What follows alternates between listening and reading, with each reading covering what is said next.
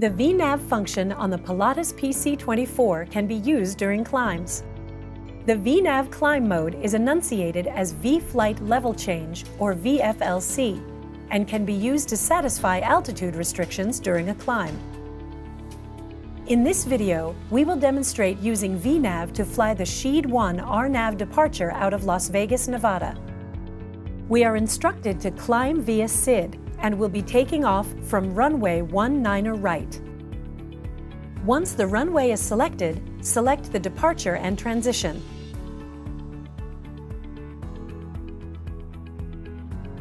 Once the entries are made, verify the takeoff runway, SID, and transition in the SID Takeoff tab.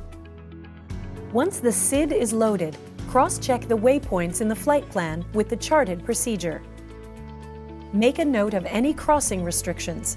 In this case, the Roper waypoint is to be crossed between 6,500 and 7,000 feet. We can see on the waypoint list and the vertical situation display that the flight plan reflects this restriction. The next restriction is Mad Dog, with a hard altitude of 9,000 feet. A good way to verify waypoint restrictions in a flight plan is to use the Skip Waypoint button. This will center the next waypoint on the iNav map and vertical situation display. Again, we see that the restriction is correct in the flight plan. Continue verifying the flight plan in this method. As part of the rest of the pre-flight preparation, verify that the proper altitude is set in the altitude preselector. In this case, we are to climb via the SID, so we will set the top altitude of flight level 190. This is important because the flight level change mode respects the altitude preselector and will not climb past the altitude set. We will perform this takeoff and climb using all available automation, including auto throttles and FMS speed mode. After takeoff, verify that the nav mode is captured and push the VNAV button to select the VFLC mode.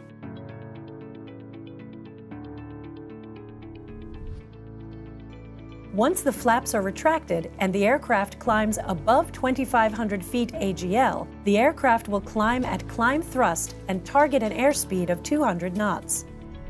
When VNAV is active and an altitude constraint exists, the FMS altitude target is shown to the lower left of the altitude preselector. It displays the next altitude constraint on the flight plan.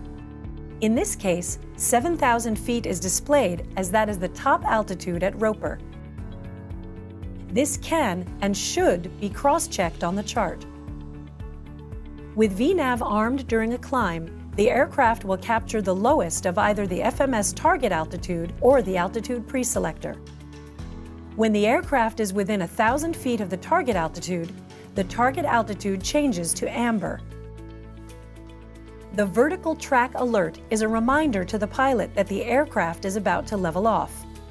As the aircraft approaches 7,000 feet, the vertical mode changes from VFLC to VSEL.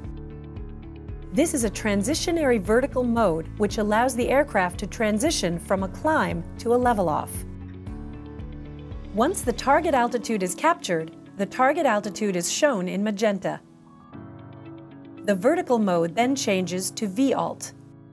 The aircraft will remain at this altitude until crossing the Roper waypoint. It will also remain at 200 knots as long as the FMS speed mode is selected. As the aircraft approaches the Roper waypoint, the vertical track alert again indicates that a VNAV altitude change is about to occur. Once the Roper waypoint is sequenced, the aircraft transitions back to VFLC and the climb is resumed. Verify that the next waypoint constraint is shown in the target altitude field. In this case, 9,000 feet is shown for the altitude constraint at Mad Dog. The aircraft will again climb at 200 knots and level off to cross Mad Dog at 9,000 feet. The aircraft will continue to climb in this fashion until it reaches the top altitude of flight level 190.